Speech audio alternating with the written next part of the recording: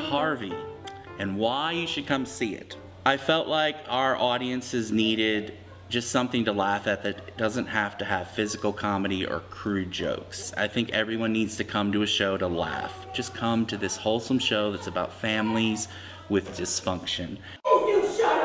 There's just good old wholesome laughter, you know, at the expense of the characters in this show. And that's what makes this show funny, is the uniqueness of each of these characters. Now see, Mother's mucked everything. And you can come to this show and you know, watch this guy who sees this imaginary six foot white rabbit, or is he imaginary? You know, and be 10 years old and sit out there and wonder. And then that may spark some creative interest and imagination in a kid. And then who knows where that takes them.